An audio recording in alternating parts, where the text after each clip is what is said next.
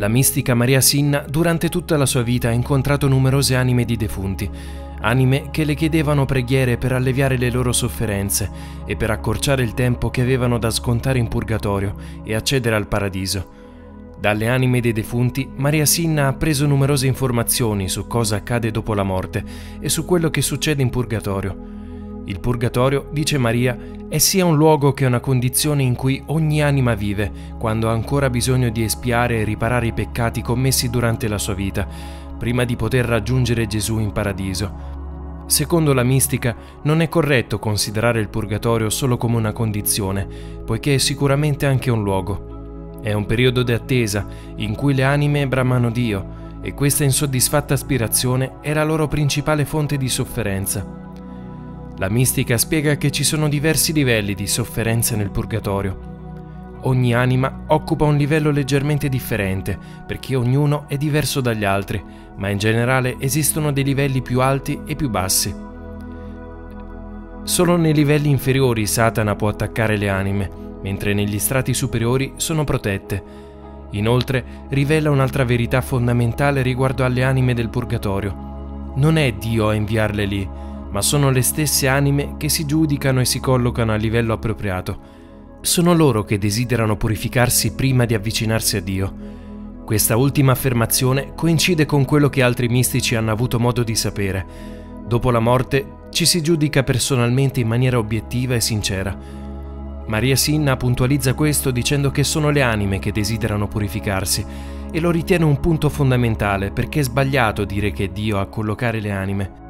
A differenza di quello che si può pensare, nonostante il purgatorio sia un luogo di sofferenza e di espiazione, le anime non vogliono andare via da lì, non vogliono tornare sulla terra, perché sanno che in quel luogo si stanno purificando e che espiando le loro pene incontreranno Dio. Questo perché seppur in modo minore e parziale, anche in purgatorio è possibile sentire e vedere la presenza di Dio e questo infonde alle anime sofferenti una grande speranza e forza.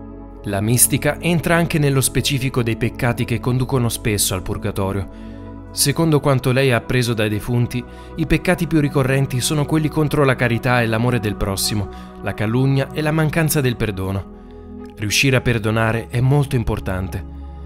Secondo Maria Simma, il modo più efficace per facilitare la liberazione di un'anima dal purgatorio è attraverso la Santa Messa. Spiega che poiché è Cristo stesso che si offre per amore nostro, l'offerta di Cristo stesso a Dio è la più preziosa di tutte le offerte. Aggiunge che se solo comprendessimo il valore di una singola messa per l'eternità, le chiese sarebbero piene anche nei giorni feriali, durante la nostra vita terrena.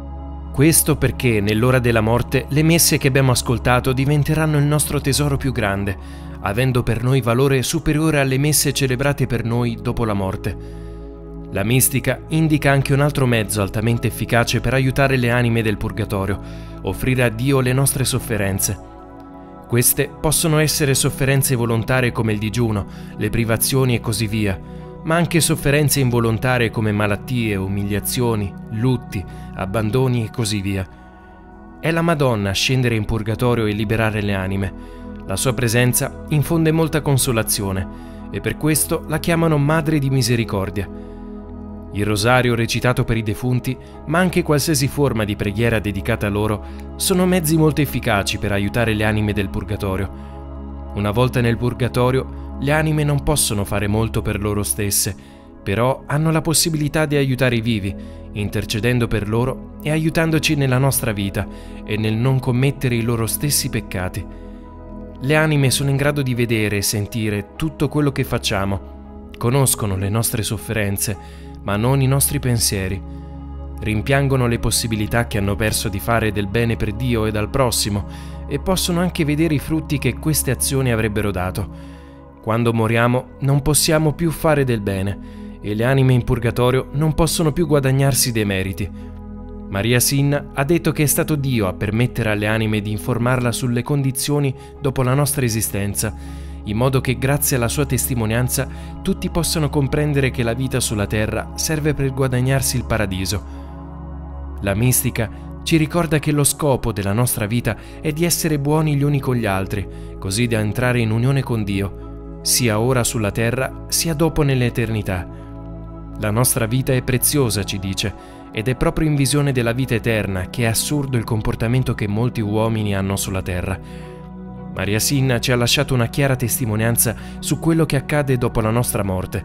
La sua testimonianza coincide con la dottrina della Chiesa cattolica e la sua vita, le sue azioni e la sua testimonianza sono state attentamente controllate dalla Chiesa. Fateci sapere nei commenti che cosa ne pensate e iscrivetevi al canale per far parte della comunità di fede e preghiera. A presto!